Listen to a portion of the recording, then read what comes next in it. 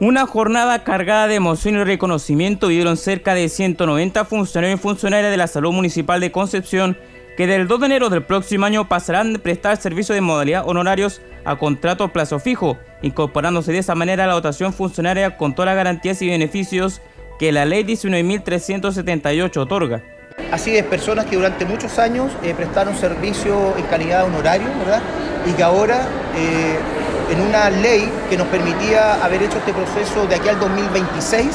nosotros lo estamos haciendo este año 2022. Y 190 personas pasan ahora a contrato plazo fijo,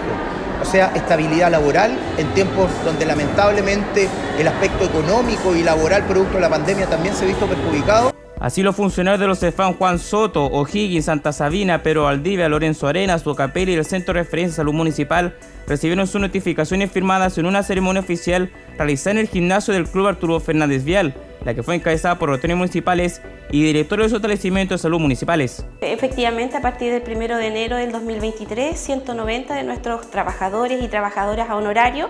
eh, asumen la calidad contractual de acuerdo a la ley 19.378 de plazo fijo. Esta es una indicación que nace y se gesta eh, y además impulsada desde la alcaldía a través de nuestro, nuestra máxima autoridad comunal, don Álvaro Ortiz, quien nos ha solicitado poder concretar, eh, si bien existe un pronunciamiento de la Contraloría en postergar esta decisión. La kinesióloga del Cefanto Capel, Bárbara Salinas, una de las 190 funcionarios que mejoró su contrato laboral, comentó que fue un día redondo muy bonito y con muchas emociones juntas. Sí, la verdad es que eh, fue un día muy redondo, muy bonito,